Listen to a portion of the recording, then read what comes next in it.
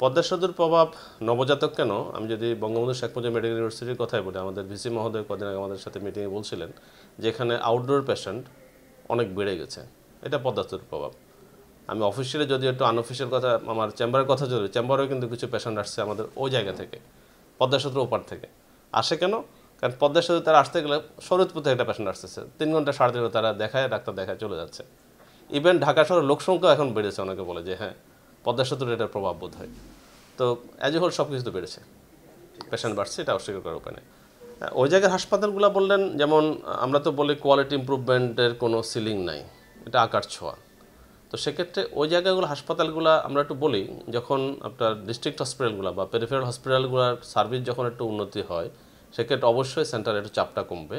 যেমন আমি যদি বলি যে আজকে থেকে পনেরো বছর আগে আমাদের হার্টের patient heart surgery cardiac surgery bypass এগুলোর জন্য পেশেন্ট ইন্ডিয়াতে অনেক অনেক বেশি যেত। এখন কিন্তু সেই ফ্লোটা একটু কমেছে। কেন কমেছে? কারণ বাংলাদেশের সার্ভিসটা একটু উন্নতি হয়েছে।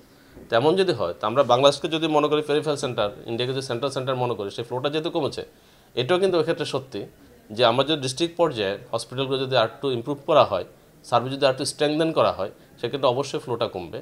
আরেকটু বলে রাখি, কারণ আমরা ডিস্ট্রিক্ট পর্যায়ে কিন্তু সাপোর্ট দেওয়া হচ্ছে। আনফর্চুনেটলি আমার ডক্টর সাপোর্ট বা নার্স সাপোর্ট যে নাম্বার থাকার কথা সেই নাম্বারটা কিন্তু ওরকম নাই।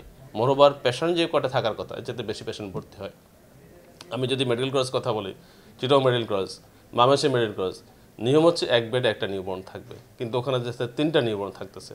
উপায় নাই, তারা মেডিকেল কলেজ হসপিটাল হিসাবে, সরকারি হসপিটাল হিসাবে কোনো পেশেন্টকে তারা কিন্তু বলতে পারে না, আমরা আপনাকে ভর্তি করাবো না। তো তাদের কিন্তু বেশি পেশেন্ট নেওয়া যাচ্ছে। তো যেখানে রিকমেন্ডেড এক বেডে একটা পেশেন্ট থাকবে, সেখানে তিনটা পেশেন্ট যখন থাকছে, সেখানে ডেফিনেটলি ডেথ রেটটা বাড়বে ইনফেকশনটা বাড়বে। এটা অস্বীকার করার উপায় নেই।